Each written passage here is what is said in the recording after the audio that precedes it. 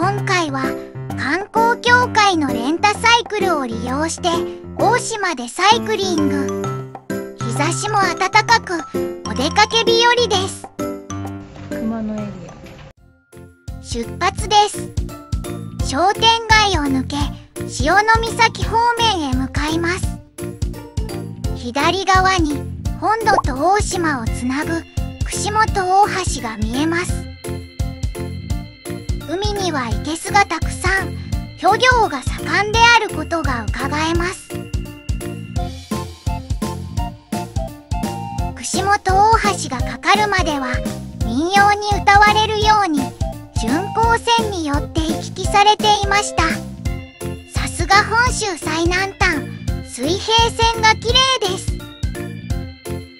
橋の上はいつも風が強いので気をつけて大島に上陸です。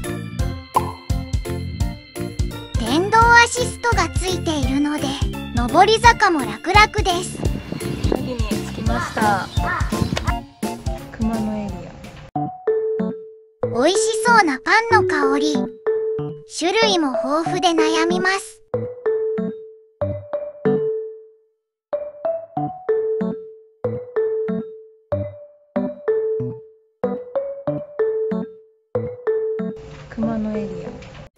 美味しいパンごちそうさまでした。これから大島の東端にある柏野崎まで走っていきます。大島を西から東へ横断するこの道は上りがあれば下りもあるメリハリのあるルートです。流れる景色から島らしい雰囲気を味わうことができるいいルートです。到着です。ア熊野エリ1890年にトルコのエルトゥールル号が柏野崎沖で座礁しました。その際の救助活動をきっかけに串本はトルコと深い縁で結ばれています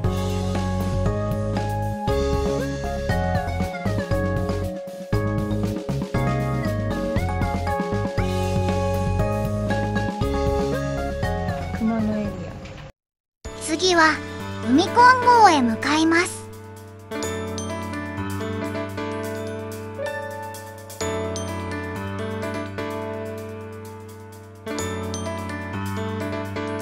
ア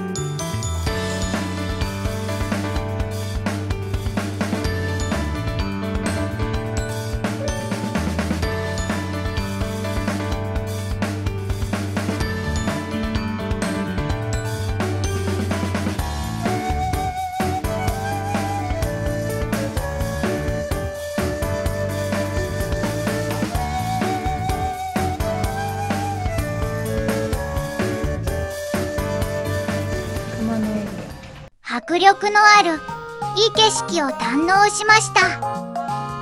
日が傾いてきたので帰路に着きます。これで大島サイクリングは終了。